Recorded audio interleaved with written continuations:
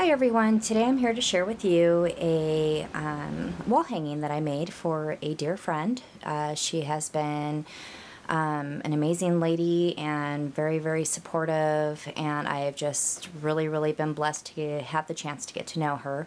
I hope she likes this.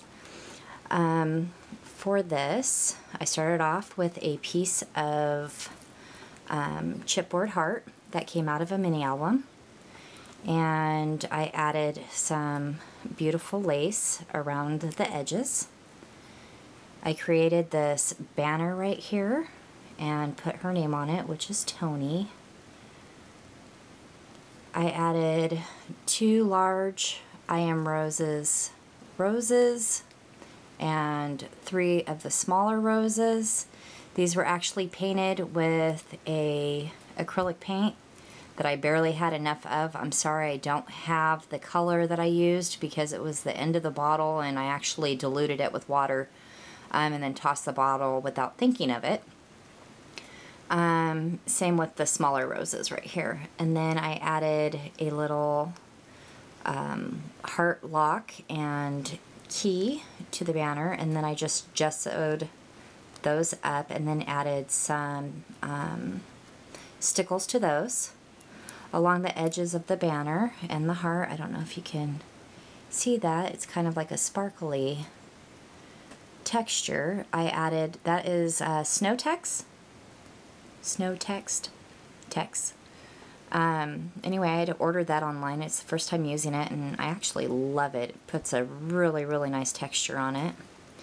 Um, I added a couple little beads to the end of the wires from the roses. I added some white flowers behind this Prima Angel and I colored her with, um, I believe it's buttermilk, the light buttermilk by Americana paint and then I sprayed um, pink and teal Lindy Stamp Gang on it. I don't know if you could see the shimmer on that.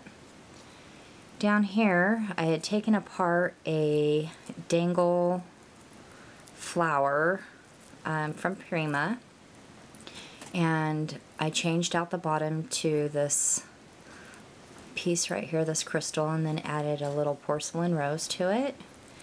And then I actually opened each one of these up and added pearls to it because there was no pearls. And then added some seam binding and some pearl trim to this and also seam binding for the top up here and then around on the back I added some more paper from the collection and just tied it off. This is how it hangs. I used a little Tim Holtz hook clasp. I'm not sure what it's called. I'm sorry. Um, the paper line that I used is from the My Mind's Eye Lost and Found, um, what is this, the Blush collection. It's this one right here. Sorry about the glare. And then also, I don't know if you could tell on the top, I added a little bit of, um, I used a stencil from Sawcrafter and added a little bit of, oh, excuse me about that. Um, sorry, I can't think of, my brain just went dead. Uh, modeling paste, that's the word I'm looking for.